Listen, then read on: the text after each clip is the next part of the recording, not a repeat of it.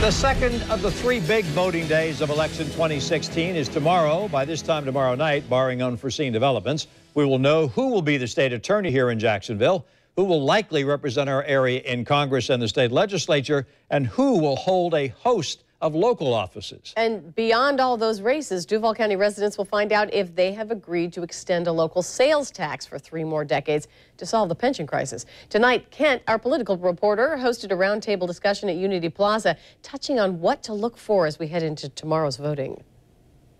And joining us for our roundtable discussion as we get ready for August 30th and the big election tomorrow, Dr. Michael Binder from UNF, Dr. John Allen Newman, a Democrat uh, as we talk tonight, and a former leader of the Republican Party in Duval County, John Falconetti. Let's talk about this. We've been watching for months. We knew August 30th would be big because there's uh, at least one or two issues that are pretty big, and lots of candidates really going at it. Yeah, there's obviously the state attorney's race, which has gotten a ton of attention and a lot of money.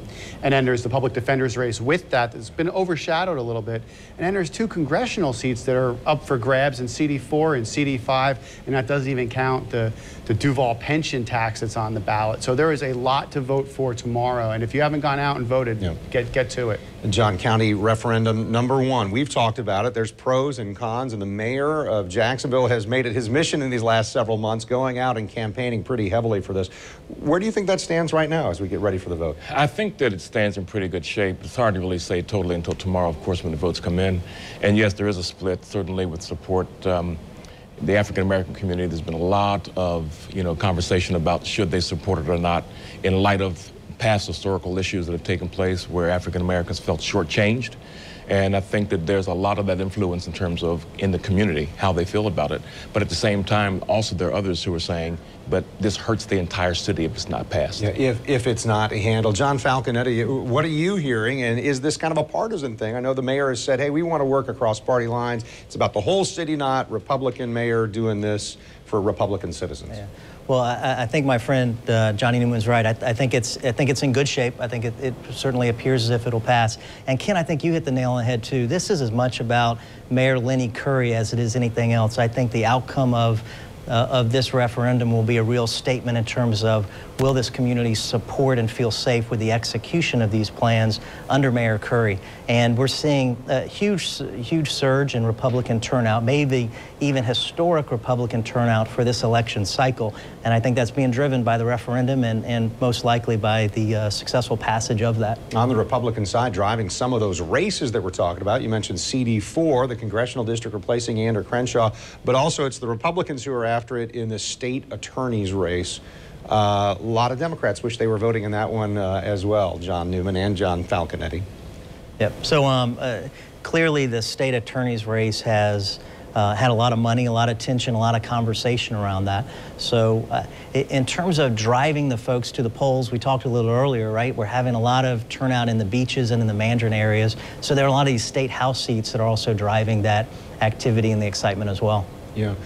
John, I, would heard some Democrats early on say, well, I'll just change my party and then I can vote in this Republican primary.